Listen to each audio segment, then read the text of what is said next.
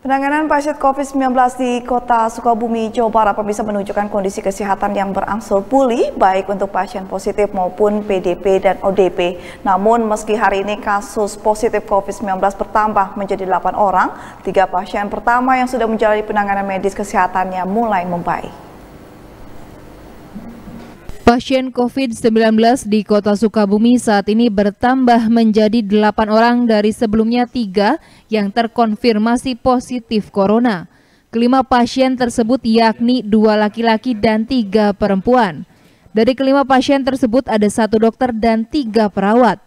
Dari delapan orang positif corona, tiga pasien pertama menunjukkan kondisi kesehatan yang mulai pulih, bahkan berangsur-angsur membaik. Sedangkan untuk pasien dalam pengawasan atau PDP dinyatakan sembuh sebanyak 17 dan masih dalam pengawasan 4 orang. Untuk ODP dari total 204 orang, 167 selesai pemantauan, sisanya sebanyak 37 orang dalam pemantauan. Wali Kota Sukabumi Ahmad Fahmi mengungkapkan pemerintah daerah Kota Sukabumi hingga saat ini terus berupaya melakukan penanganan terhadap pasien corona yang ditangani di beberapa rumah sakit.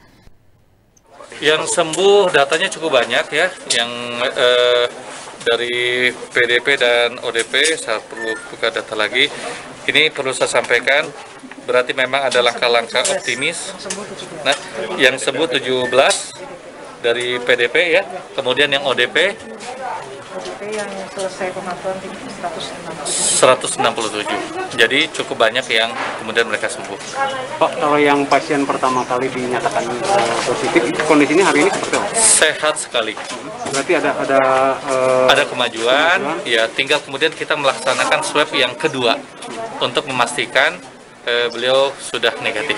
Berapa orang Pak yang berangsur mulai membaik dari uh, yang positif? Dari ini tiga yang orang membaik. Tiga orang Ya, tiga orang membaik semua. Seluruh pasien positif COVID-19 yang hingga saat ini berjumlah 8 orang berkaitan dengan lembaga sekolah pendidikan calon perwira polisi dan terfokus di satu titik sehingga pembatasan akses di Jalan Bayangkara masih ditutup untuk kendaraan umum.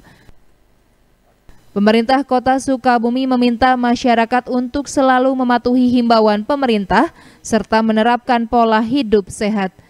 Budi Setiawan, Bandung TV.